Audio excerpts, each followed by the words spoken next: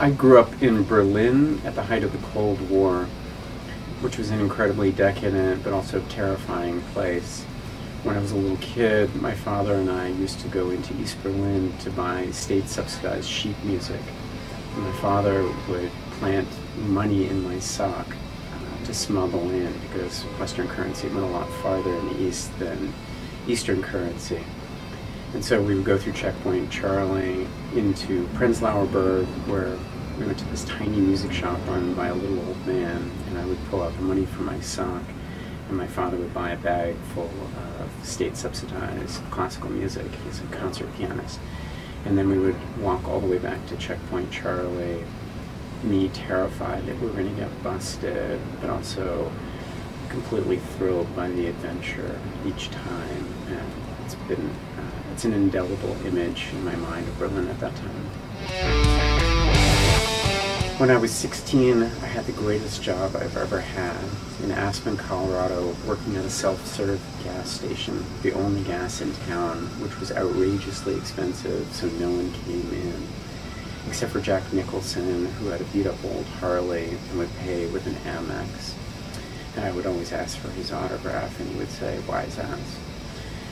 But most of the day I sat in a lawn chair with money wrapped around my fingers. I had ones, fives, tens, twenties wrapped around my fingers in one hand and a book in the other hand. And I read at least a book a day, sometimes two. And I read hungrily, completely randomly. So everything from The Shining to Camus to just about anything um, that I could get my hands on in paperback. And so I was paid to read, not much, but it was still the greatest job I've ever had in my life.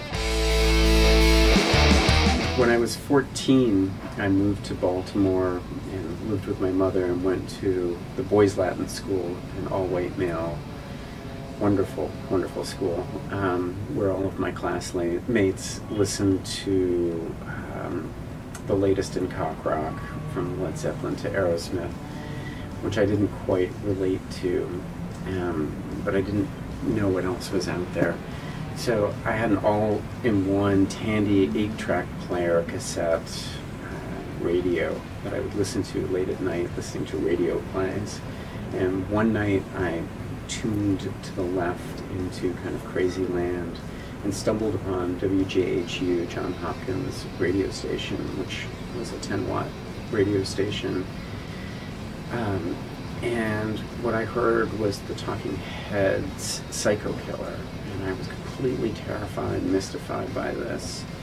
But I was also drawn in and saw the light immediately, and, and so I stayed up all night listening to everything punk rock. Sex Pistols, Clash, Joy Division, it all sort of came in, and I it was my sort of awakening to that there was a world outside of Baltimore and escape through music.